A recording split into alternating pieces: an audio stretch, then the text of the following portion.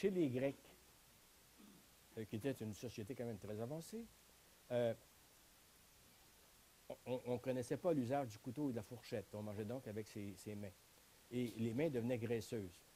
Or, chez les Grecs, euh, chaque convive avait souvent une belle jeune fille à la longue chevelure à côté de lui et s'essuyait les mains sur la chevelure de la jeune fille.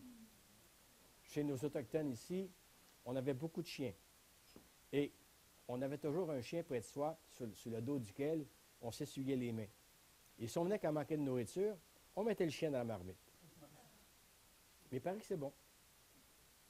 Si vous allez en Asie, dans certains pays, dans les marchés publics, euh, on, vend des petits chiens dans, des petites cages. Et puis, euh, moi, j'ai un fils qui, va, d'ailleurs, il est en Asie actuellement. on lui a offert du chien, mais euh, il a refusé. Mais par contre, il est obligé de manger des œufs de couvés. Il était dans une réception officielle avec quelques ministres, comme il travaillait à ce moment-là pour l'ONU. Euh, il, il, est obligé de manger les, œufs avec des petits poils et des, petites plumes. Mais il paraît que le chien, c'est pas mauvais. Donc, François Ier veut organiser une expédition, mais à ce moment-là, les espions espagnols et portugais informent leur souverain de tout ce qui se passe du côté français. Et au, mois d'août 1540, le roi d'Espagne apprend de son ambassadeur à Paris que François Ier vient d'autoriser ses sujets à reprendre leur voyage vers les terres nouvelles. Effectivement, le 17 octobre 1540, par une commission royale, Cartier est nommé capitaine général et maître pilote de tous les navires et autres vaisseaux de mer qui doivent se rendre dans ce pays qu'on dit habité et les autres possédés par des gens sauvages vivant sans la connaissance de Dieu et sans usage de raison. pourquoi que Dieu intervient dans ça? encore là, c'est pour calmer le pape un peu, vous savez, puis euh, le, roi d'Espagne et, le roi du Portugal. le mot sauvage, en 1603, Champé publie un livre qui s'appelle Des sauvages. Le mot sauvage n'est pas péjoratif. Aujourd'hui, si on dit à quelqu'un est un maudit sauvage, c'est offensant.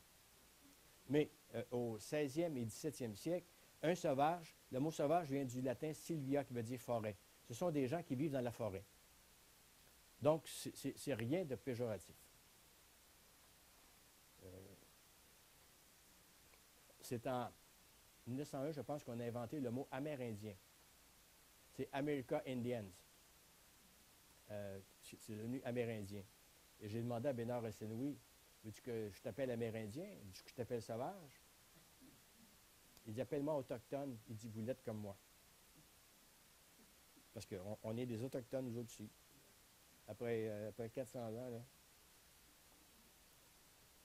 Et là, non seulement la mission confiée à, Cartier est de continuer les explorations, mais aussi voir à la conversion à la religion catholique des populations indigènes.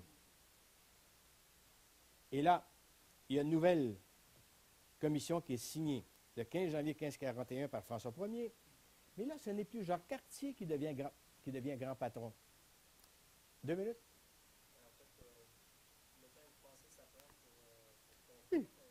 Je, je, vais essayer de conclure vite. Je vais parler plus vite.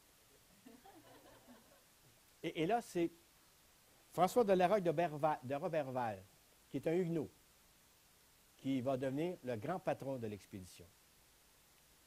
Huguenot, ben, il ne faut pas oublier que le protestantisme a fait son apparition. La sœur du roi, Marguerite de Navarre, est devenue une huguenote. Et euh, les Huguenots euh, ont, quand même une certaine influence en France. Ah, Cartier, qui était un mot catholique, qui est un capitaine de bateau, va être sous la dépendance d'un seigneur qui va faire euh, de la piraterie pour financer son expédition en Méditerranée. Ah, Cartier, lui, est prêt à partir le premier. Et euh, il part donc en 1541 avec, je pense, cinq navires. Et, là, il ne peut plus aller s'établir à Stadagoné. Parce qu'entre-temps, il n'a pas ramené, lui, Donnacona, les Nevaux. Ils sont morts en France. Sauf que, j'ai eu un article de journal, il y aurait dans une petite ville de France un restaurant qui s'appelle Le Sauvage. Et la rumeur court dans ce coin de pays-là que ce sont des descendants d'un des Indiens ramenés par Jacques Cartier qui aurait épousé une Française, et ce serait des descendants de ces gens-là qui auraient été les premiers propriétaires du restaurant. Je voulais mettre un, journaliste sur ça, mais peut-être si je retrouve mon article, je, vais mettre un journaliste sur ça parce que ça vaudrait la peine. Mais ils ont été baptisés pour la plupart. Euh, mais Donnacona est vraiment mort en France. Mais on va faire croire, quand Cartier va revenir, que Donnacona vit toujours, qu'il là-bas c'est un grand seigneur, il vit dans l'entourage du roi, donc il n'y a pas de problème. Mais comme on a peur des Amérindiens de Stadagoné, on va remonter le fleuve Saint-Laurent un peu plus haut, et là il y a une petite rivière, en l'embouchure de laquelle on peut vraiment s'installer. C'est bien protégé, il y a une falaise. On, voit de très loin. Hein. C'est un, endroit où on peut commander un peu sur le fleuve Saint-Laurent aussi bien euh, en, aval qu'en amont. Et c'est la rivière de Cap-Rouge. Et là, on va débarquer donc à Cap-Rouge. On va euh, construire deux phares, un en bas de la falaise et l'autre en haut de la falaise. Et euh, depuis quelques années, peut-être deux ou trois ans, on a fait des fouilles en haut. On a découvert des vestiges du phare d'en haut. Or, Cartier, lui, à ce voyage-là, euh, va euh, naviguer le long du Saint-Laurent et il va remarquer à un endroit précis, sur une falaise, qu'il y a des diamants. Il va donc en ramasser, je pense, ces 20 barils. Et il, trouve de l'or aussi. Fait que là, lui, il ne veut pas que ce soit Robert Val, son patron, qui ait la gloire d'avoir apporté au roi de France la richesse. Il décide donc, euh, début juin 1542, de retourner en France et euh, de présenter ses richesses au roi pour avoir la gloire. Entre-temps, M. de Robertval a réussi à trouver assez d'argent pour financer son expédition. Et lui, il part de France. Et Cartier s'arrête, lui, à Terre-Neuve pour faire le plein d'eau et le plein de bois. Robertval arrête au même endroit en juin 1542 pour faire une provision de bois et d'eau. Il rencontre Cartier, puis lui dit Vous allez revenir avec moi.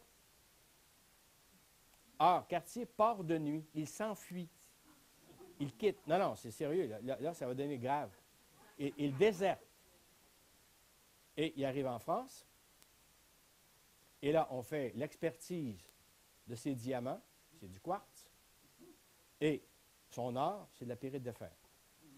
Et c'est là que naît l'expression faux comme diamant de Canada. Et là, Cartier va être vraiment en disgrâce à ce moment-là. On, ne lui confiera plus aucune, euh, aucune mission. Robert Val, lui, va revenir s'installer là où était Cartier, mais là, ça va vraiment se détériorer. Parce qu'il ne faut pas oublier que les, les gens qui ont fait partie de l'expédition, pour la plupart, ce sont des repris de justice, aussi bien hommes que femmes. Cartier et Robertval, les deux. Oui, on a vidé Prison de France. Ah non, non, mais ça, c'est un mémoire qu'on avait présenté, ce qui serait nécessaire pour bien peupler on a oublié ça parce que les Français émigrent peu. Est-ce qu'il y a des Français ici? Vous êtes cachés, hein? Je comprends. Euh, et on, a donc, euh, il y a eu quelques personnes qui, étaient des gens qui n'étaient pas des prisonniers. On a eu, euh, on, a interdit aux faux monnoyeurs et aux crimes de lèse-majesté et de, et de lèse-divinité d'émigrer ici. Bon, on a une femme qui a vendu sa fille, on, a des, meurtriers, on a des voleurs. Et, d'ailleurs, c'est là qu'on va voir avec Robert Val notre premier pendu qui s'appelle Michel Gaillon. on va le pendre. C'est la première fois qu'on va avoir une note comme quoi on a pendu ici. et les relations avec les Autochtones vont se détériorer énormément.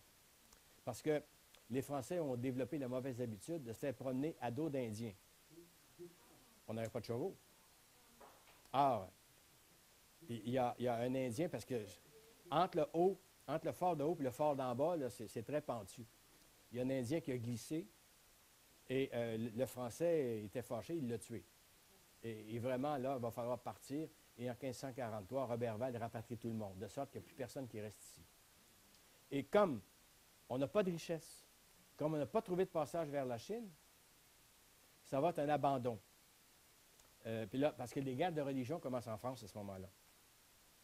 Et ça va être vraiment un abandon. Il ne faut pas oublier qu'il y a eu la, Saint-Barthélemy. Il va y avoir une tentative en 1598 à l'île de Sable. Euh, mais ça sera toujours des échecs. Et Cartier va mourir euh, en 1556 sans qu'on lui ait confié quoi que ce soit. tout le monde a été rapatrié. Non, il, va falloir attendre, euh, on va le voir dans un mois, euh, Sainte-Croix en 1604. Mais eu une, autre tentative à Tadoussac euh, en, 1599, en 1600, où là, sur les 16, la plupart vont mourir du scorbut. Le prochain cours, on va parler de la période qui va de 1599 à 1663. On appelle ça l'ère des fondations et le problème iroquois. L'autre cours, le troisième, ce sera 1660, 1713 jusqu'au traité d'Utrecht. Après, on ira de 1713 à 1760. Là, ça va être la guerre de la conquête. De 1760 à 1791, on va avoir entre autres l'acte de Québec. Et 1791, c'est la division de la province de Québec entre Haut et Bas-Canada. Et c'est l'établissement du parlementarisme. Et là, on va se rendre jusqu'à 1837. Et après, on va prendre un cours exclusivement pour 1837-1841. Euh, le mouvement des patriotes. Et on voit la différence qu'il y a entre 1837 et 1838. Ce n'est pas du tout la même chose. En 1937, on essaie d'arrêter l'armée anglaise. En 1938, on adopte le modèle américain. Et Robert Nelson, le 28 février 1838, proclame l'indépendance de la République du Bas-Canada. Et là, on va vouloir conquérir l'indépendance. Et euh, c'est pour ça qu'en en, 1937, on n'a pas d'étrangers qui viennent ici. Et en 1938, on, a ce que j'appelle, moi, des chevaliers de l'indépendance, entre autres Indelang, euh, Charles Indelang, qui va être pendu le 15 février 1839, qui était un Français. On, aura euh, des gens de l'Europe de l'Est qui vont venir appuyer les patriotes. Donc, on, prend le modèle de l'Amérique latine, c'est euh, toute l'Europe euh, occidentale qui est au poids à un mouvement d'indépendance. C'est ce qu'on appelle le printemps des peuples. Après, on ira de 1841, l'acte d'union, jusqu'à 1877. 77 à 96, un autre cours. Là, ça va être le règne des, euh, conservateurs, les, premières années de la Confédération. La première province séparatiste, la Nouvelle-Écosse, en 1868. Elle veut se retirer de la Confédération, 1868. On n'a pas le monopole. Hein. Et après ça, en 1896, c'est Laurier qui prend le pouvoir, Parti libéral qui prend le pouvoir au fédéral. 97, c'est le Parti libéral qui prend le pouvoir au Québec. On va se rendre après ça jusqu'en 1939. On fait après ça de 39 à 60. Puis après le dernier cours, ça va être vite, vite, vite, de 60 à nos jours. Et si vous êtes bien sage, si l'organisation ici est prête, Peut-être qu'on fera une deuxième saison, si on est assez nombreux. Et à ce moment-là, on verra dans le détail, 1960 à l'an 2000, ce qu'on appelle la révolution tranquille. On, va voir que qui le premier a parlé des révolutions tranquilles? The Quiet Revolution.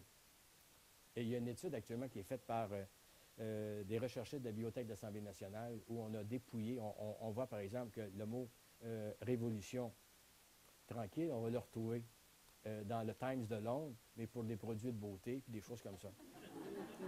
Et on va ici adopter euh, toutes sortes d'expressions pour parler de cette révolution. On sait, on sait à peu près quand... Pour moi, je ne le dirai pas, mais la révolution tranquille, pour moi, finit en 1960. Elle finit en 1960. Je vous expliquer pourquoi quand ça sera rendu. Oui.